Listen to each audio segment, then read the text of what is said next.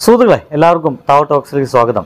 രണ്ടായിരത്തി ഇരുപത്തി മൂന്ന് എന്ന് പറയുന്നത് നമ്മുടെ മോഹൻലാൽ എന്ന് പറയുന്ന നടനെ വെച്ച് മാത്രം നോക്കുകയാണെങ്കിൽ അദ്ദേഹത്തിന് ഒരു നല്ല വർഷം എന്ന് നമുക്ക് പറയാൻ സാധിക്കത്തില്ല. അദ്ദേഹത്തിന് ഒരുപാട് നല്ല ചുവടുകളൊക്കെ ഈ ഒരു വർഷത്തിൽ അദ്ദേഹം ചെയ്തിട്ടുണ്ട്. ചില സിനിമകൾ സംവിധാനം ചെയ്യാനും നമ്മുടെ മലയാളത്തിലേക്ക് അതുവരെ കാണാത്തൊരു പുതിയ സോണ്ടുള്ള സിനിമ അദ്ദേഹത്തിന്റെ കയ്യിൽ നിന്ന് വരാൻ പോകുന്നുണ്ട് എന്ന വാർത്തകളൊക്കെ നമ്മുടെ മുമ്പിലേക്ക് കിട്ടിയത് രണ്ടായിരത്തി ഇരുപത്തി മൂന്നിലാണ് എന്നാൽ അദ്ദേഹം നമ്മുടെ മുമ്പിലേക്ക് ഒരു എന്റർടൈനർ എന്ന രീതിയിലേക്ക് അദ്ദേഹം തന്ന സിനിമകളെ വെച്ച് നമുക്ക് നോക്കുകയാണെങ്കിൽ അതിൽ തൊന്ന് എലോൺ എന്ന് പറയുന്ന ഒരു സിനിമയായിരുന്നു. ഒരൊറ്റ കഥാപാത്രം മാത്രമായിട്ട് അഭിനയിച്ചു തീർത്ത ഒരു സിനിമയായിരുന്നു എലോൺ എന്ന് പറയുന്നത്. പക്ഷേ ആ ഒരു സിനിമയിൽ ആ ഒരു കഥാപാത്രത്തെ കൂടാതെ മറ്റു കഥാപാത്രങ്ങളുടെ ശബ്ദങ്ങളൊക്കെ ഉണ്ടെങ്കിലും അദ്ദേഹം മാത്രമായിരുന്നു ആദ്യം മുതൽ അവസാനം വരെ ആ ഒരു സിനിമയിൽ ഉണ്ടായിരുന്നത് എന്നതായിരുന്നു രസകരമായിട്ടുള്ള വസ്തുത.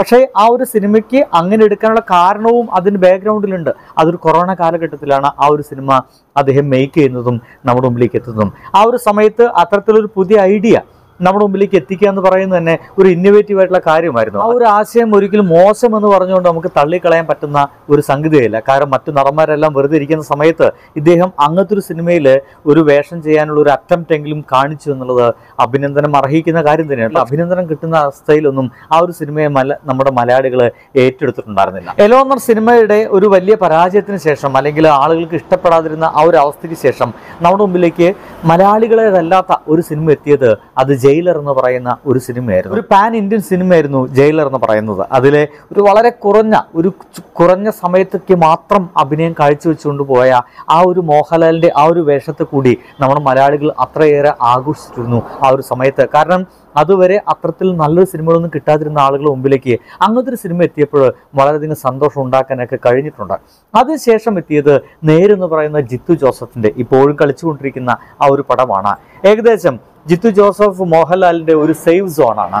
അദ്ദേഹത്തിനെ വിജയിക്കാനായിട്ട് അല്ലെങ്കിൽ മയങ്ങിക്കിടക്കുന്ന ഒരു മനുഷ്യനെ ഉണർത്താൻ എന്ന രീതിയിലൊക്കെ ഒരു സേഫ് സോൺ കളി ജിത്തു ജോസഫ് എന്ന് പറയുന്ന ആ ഒരു മനുഷ്യനുമായിട്ട് മോഹൻലാൽ കുറച്ച് കാലങ്ങളായിട്ട് കളിച്ചുകൊണ്ടിരിക്കുന്നു. ആ ഒരു സിനിമ കളി വളരെ ഭദ്രമായിട്ട് തന്നെ വളരെ രസകരമായിട്ട് തന്നെ നേര് എന്ന് പറയുന്ന സിനിമയിൽ ആ ഒരു മനുഷ്യൻ ചെയ്തു ചേർക്കുകയും ചെയ്തു.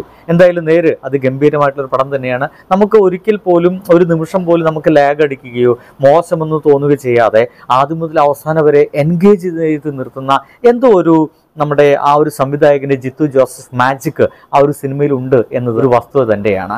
എന്തൊക്കെയായാലും രണ്ടായിരത്തി ഇരുപത്തിനാലിലേക്ക് എത്തുന്ന സമയത്ത് നമ്മളെല്ലാവരും കാത്തിരിക്കുന്ന ഒരു പടം അത് നമ്മുടെ മലയക്കോട്ടെ വാലിബ് എന്ന് പറയുന്ന ആ ഒരു സിനിമയാണ്. ജോജോസ് ജോസ് പല്ലിശ്ശേരിയാണ് മലയക്കോട്ടെ വാലിബ് എന്ന് പറയുന്ന ആ ഒരു സിനിമ നമ്മുടെ മുമ്പിലേക്ക് എത്തുന്നത്. ഒരുപക്ഷെ മോഹൻലാലിലുള്ള പ്രതീക്ഷയായിരിക്കാം. അല്ലെങ്കിൽ ലിജു ജോസ് പല്ലിശ്ശേരി എന്ന് പറയുന്ന ആ ഒരു സംവിധായകനുള്ള പ്രതീക്ഷയായിരിക്കാം. നമ്മൾ ഏവരും പ്രതീക്ഷയോടെ കാത്തിരിക്കുന്നുണ്ട് മലയക്കോട്ടെ വാലിബ് എന്ന് പറയുന്ന ആ ഒരു പടത്തിന് വേണ്ടിയിട്ട്. ദാ ഈ ഒരു പുതുവർഷത്തിൽ നമ്മുടെ മുമ്പിലേക്ക് ഈ ഒരു പടം കൂടി എത്തുന്നുണ്ട് എന്നുള്ളത് മോഹൻലാൽ ആരാധകർക്കും ഒപ്പം തന്നെ ലിജോ ജോസ് പല്ലിശ്ശേരി ആരാധകർക്കും സന്തോഷിക്കാവുന്ന ഒരു കാര്യം തന്നെയാണ്. ഇത് കൂടാതെ തന്നെ ഇദ്ദേഹത്തിന്റെ പിന്നീട് എത്താൻ പോകുന്ന ബറോസ് എന്നൊരു പടമാണ്.